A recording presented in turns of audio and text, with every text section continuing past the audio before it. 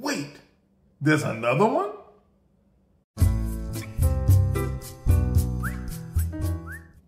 What's up, kitchen kinfolk? We back chasing flavors with another edition of our throwback series, where we go back and take a look at one of my older videos that did real well, and we're gonna see if we can put a little extra spice on it. Today, we're taking a look at the spicy hash brown stacker.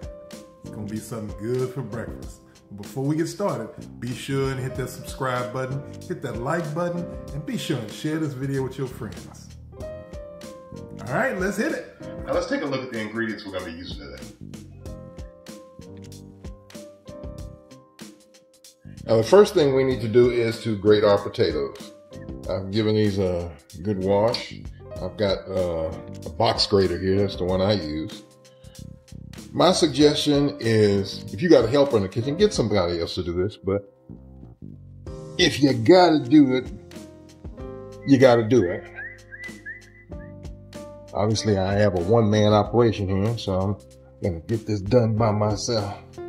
Now you don't have to be brave slash stupid like me. If your grater comes with a little handle to stick in your vegetables and, and, and grate them, go ahead and use it. Save your knuckles. And once you're done giving those a rinse, you want to give the potatoes a good squeeze. Get all the moisture out of them.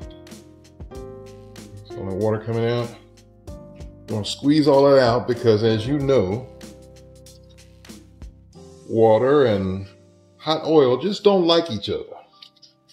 We want to make sure that we don't have any explosive consequences. Plus, if you don't squeeze all the water out, your hash browns can end up with a mushy center. And nobody likes that.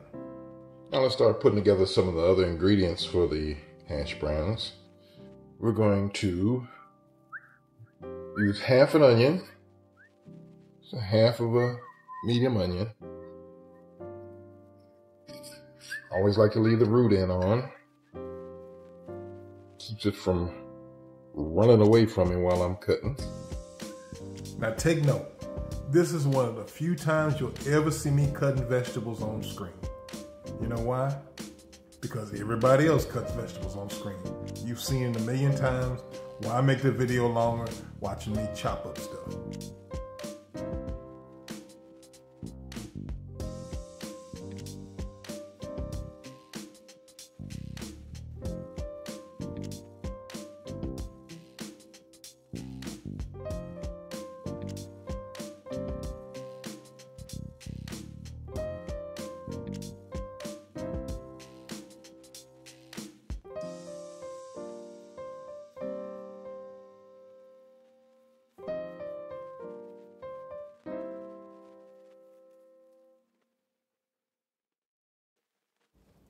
Ooh, let's look a little closer. Whew, that's better. Back to regular speed. Okay. Now we're gonna add our seasoning mix. This is one teaspoon of salt, one teaspoon of black pepper, and a half teaspoon each of cayenne and white pepper. Give that good sprinkle there. Give it a mix. Make sure you get your seasoning all throughout the potatoes. I'm gonna add one quarter cup plus one tablespoon of regular all-purpose flour.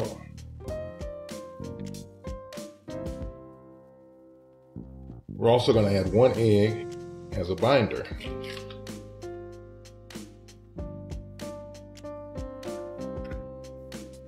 Now, you got to stir.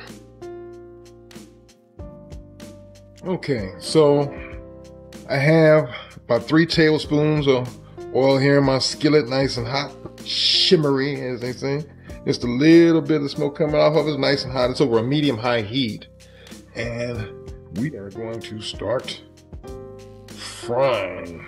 Let's, let's take some of our potatoes here. Ooh, that's going to be a big one. You want to kind of shape it into a square there.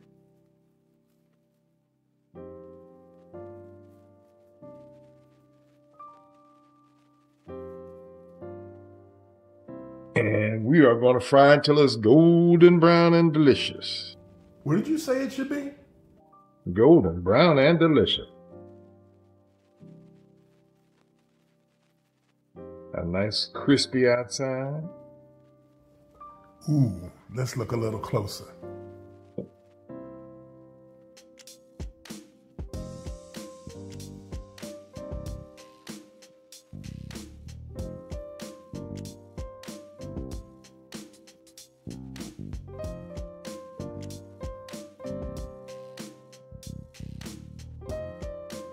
All right, let's get these eggs in there.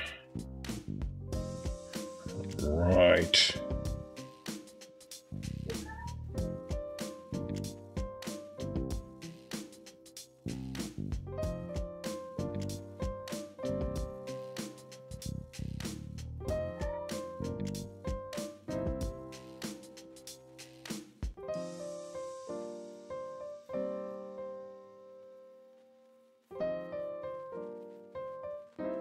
All right, let's assemble our stacker so we can eat. Let's take one of our hash browns here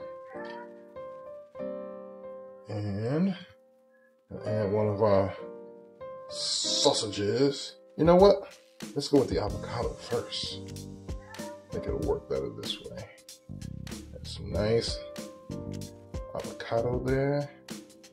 And a sausage on top.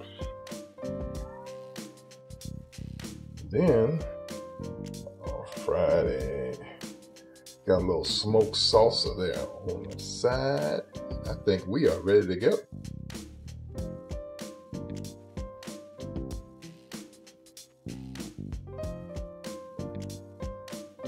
Man, it's wild taking a look back, seeing where you were a few years ago and where you are now. Whew, I had a lot to learn. I still do. And I'm having a great time making these videos. And I appreciate all the love from y'all who are checking them out. Be sure and share them with your friends. Subscribe to me. Hit the like button, hit the notification button. And I'm about to bounce. I think I'll go make me a stacker.